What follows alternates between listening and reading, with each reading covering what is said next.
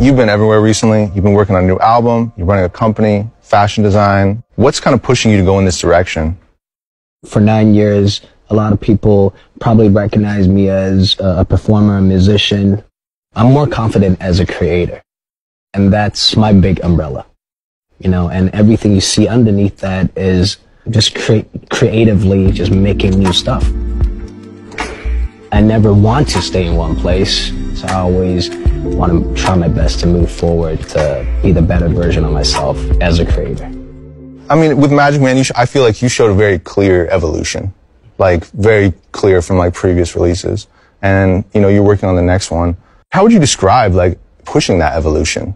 I feel like when I made Magic Man album at first, it's my most honest album and it's my it's an album that I've always wanted to do. I just want this second album to be 100% me. I feel like that's the realest, purest, most authentic form of myself. How does technology help you present the most like honest and pure version of yourself in your art? I mean, definitely as a person, there is limited stuff that you can do as an individual. So I can do that by using tools that help me, you know, bring out the natural beauty of my work capturing movements, uh, facial expressions, emotion in a way that actually feels real. How does that translate when you partner with a tech product? Well, definitely, I feel like it has to be convenient, friendly, fast, uh, powerful enough to keep up, smooth beyond belief.